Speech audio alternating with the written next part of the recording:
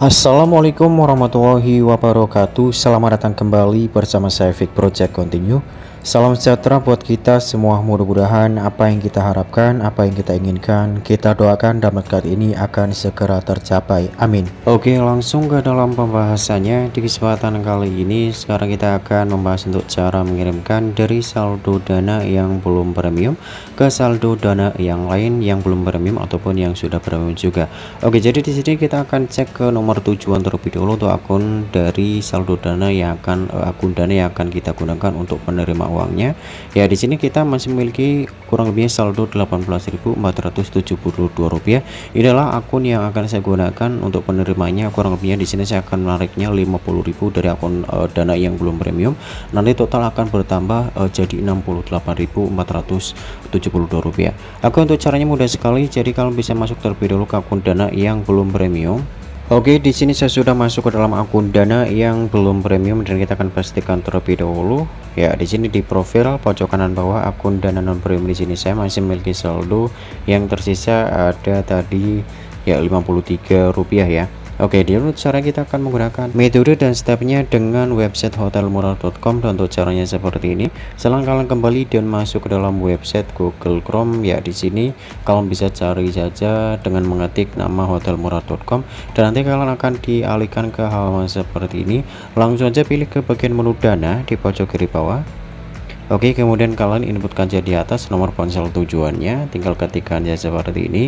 Kemudian pilih jumlah nominal penarikan di bawah. Kita akan memilih ke 50.000 ya karena kita tadi masih memiliki kurang lebihnya saldo 53.000 rupiah. Setelah memilih ke menu nominal dan pastikan nomor ponsel di atas sudah benar pilih ke menu lanjut di pojok kanan bawah kemudian scroll pilih metode pembayaran dengan QRIS seperti ini. Lanjutkan pembayaran. Tinggal screenshot saja ya. Kita akan screenshot dan total pembayaran. Di sini ada 52.525 rupiah dan di sini saldo cukup untuk melakukan penarikan dikarenakan di sini saya memiliki saldo 53.000 rupiah ya. Setelah screenshot kita akan ambil QRIS ya seperti ini ya ya kalian screenshot kemudian ambil QRISnya seperti ini kemudian klik checklist di pojok kanan atas. Ya selanjutnya langsung pilih kembali dan masuk ke dalam akun dana non premium kemudian sampai di halaman ini langsung pilih ke bagian menu pay di pojok uh, di bawah. Pilih ke menu pay kemudian izinkan aplikasi saat digunakan. Dan pilih ke menu galeri di pojok kiri atas. Ya kemudian pilih ke menu foto. Kemudian pilih uh, QRIS yang sudah kalian potong tadi ya.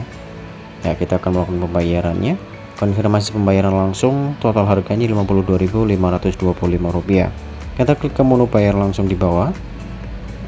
Oke kita akan menunggu.